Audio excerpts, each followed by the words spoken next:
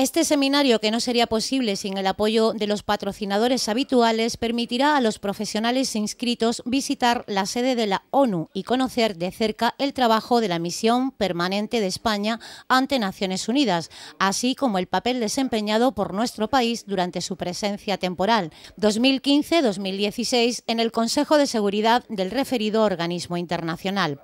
Los periodistas campo-gibraltareños que serán recibidos en la mañana del día 13 de octubre por Ramón Oyarzún, embajador representante permanente de España ante la ONU, también tendrán la oportunidad de visitar al día siguiente la sede del Instituto Cervantes en la referida ciudad estadounidense, así como de conocer los proyectos culturales que desde esta institución se llevan a cabo en la actualidad.